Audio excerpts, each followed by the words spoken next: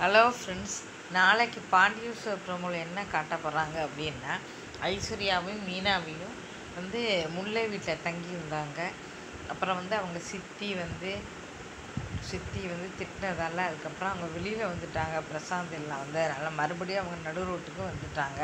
உடனே வந்து என்ன செய்ய தெரியாமல் முழிச்சுக்கிட்டு இருக்காங்க இதை கேள்விப்பட்டுட்டு முல்லை வந்து மீனாட்ட வருத்தப்படுறாங்க. உடனே மீனா என்ன பண்ணுறாங்க அவங்க அப்பாவுக்கு ஃபோன் பண்ணி அப்பா நீங்கள் வந்து இடம் கொடுங்க. நம்ம வீட்டில் அவங்க கூட்டிகிட்டு வாங்க. அப்படின்னு சொல்கிறாங்க அதை இதை பார்த்து சரி சொல்லிவிட்டு அவள் அப்பா வந்து மீனாவோட அப்பா வந்து தேடி பார்க்குறாரு. அங்கே நின்றுக்கிட்டு இருக்காங்க.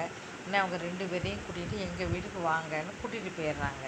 இன்னும் சரி சொல்லிட்டு அவங்க கூட்டிகிட்டு போனோடனே அவங்க என்ன பண்ணுறாங்க இனிமேல் படிக்க போகிறாங்களா இல்லை அவங்க வேலைக்கு போவாங்களா? நீங்கள் வந்து முடிவு பண்ணுங்க அப்படி சொல்லிட்டு அவர் வந்து தன்னுடைய வீட்டுக்கு கூட்டிகிட்டு போயிடுறாங்க. இந்த இந்த பிரபம் வந்து நமக்கு காட்டியிருக்காங்க.